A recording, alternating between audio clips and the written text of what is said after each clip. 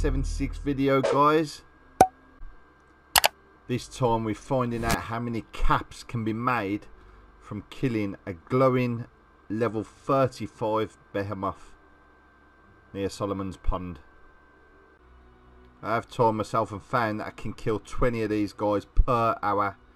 20 plus should I say. Um, some of you guys will kill even more.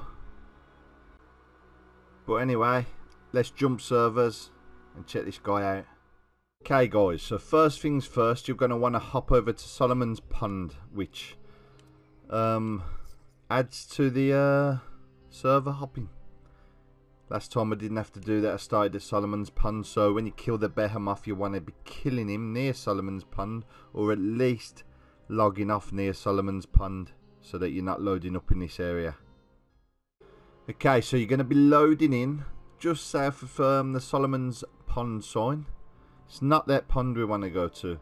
We do want to be travelling south down this path all the way down to um, a small lake. It's got a blue sort of water pump or something by it. And this is where we're going to find our behemoth, hopefully. There he is in the water. Now, he won't um, come alive until you get fairly close to it or just shoot it with a bullet. Obviously, headshots are the ways to go with this guy. You're going to get bigger, bigger uh, damage from his head. I'm uh, built for that, so that's what we'll be going for. As you can see, he's already down to nearly half health, and I haven't really touched him. For some reason, sometimes they have um, more health than normal. Don't know why that is, but yeah. As you can see, there's 532 um, XP to be gained there as well. So we have got ourselves a plan. Okay, so got the plan. Whatever that's worth, it's irrelevant because you're not always going to get it. But you're going to get 22 caps, um, bullets and arrows and such. So you can sell them. I'd just say sell them a cap a piece. You'll always find a seller for ammo.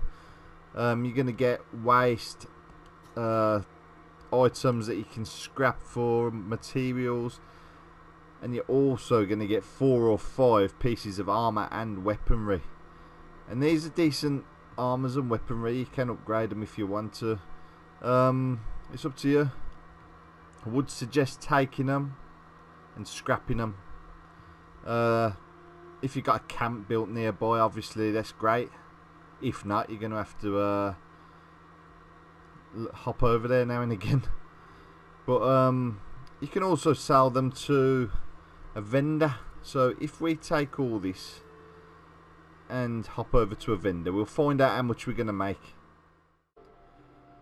Okay guys so we're at a vendor we got our sharpshooter's assault rifle which can be sold for 24 caps so we'll do that and then we'll go over to the apparel that we got we got a combat armor right leg, that's 6 caps, so that's 30 caps.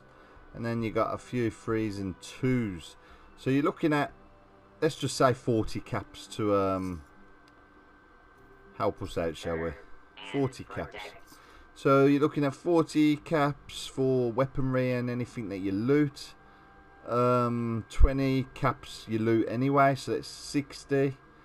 And then we've got um, all the ammo that we can draw. I mean, that wasn't the greatest drop, but we did get that um, plan somewhere. We definitely got a plan. Did I not loot it? No? Okay then.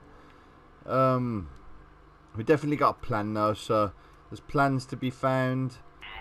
There's all sorts to be found, we know that. Uh, ultra, yeah, there's the plan. Ultra light build metal armor chest. I don't know how much that thing's worth. It says 500 value on there, so it's probably worth a bit. So you could be looking at 2,000 caps minimum, I would say, per hour.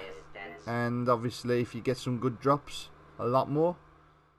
So guys, that is pretty much it for the Behemoth um, guide on caps.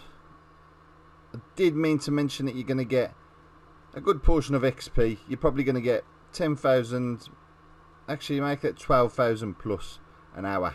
So this definitely isn't um, a bad little way to make caps and XP at the same time.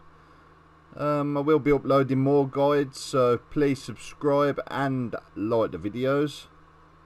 And I'll see you all on the next one. Thanks for watching, see you later.